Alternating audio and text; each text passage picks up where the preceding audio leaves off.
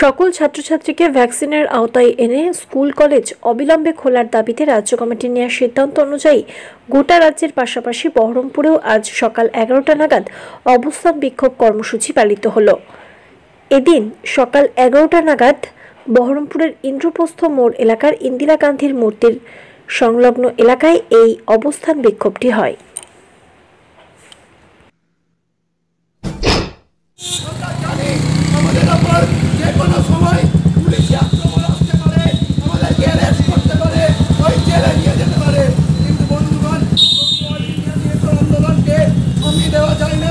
All India DSO, যতজন করবে তবুও তারা রাস্তায় আন্দোলন করবে এবং আগামী দিনেও আমাদের এই আন্দোলনের ধারাবাহিকতায় যেমনভাবে অতীতে আমাদের আন্দোলনে আপনারা সকলে নিজেদের মতো করে সাহায্য করেছেন এবং আমাদের পাশে এসেছেন, আগামী দিনেও আমাদের এই আন্দোলনে আপনারা পাশে থাকবেন এবং কৃষক আন্দোলন যেমনভাবে দিল্লিতে এক বছর আন্দোলনের পর সফল হয়েছে, আমরাও স্কুল কলেজ খোলার দাবিতে এবং সেই আন্দোলনে আমরা সর্বস্তরের মানুষকে পাশে পাবো।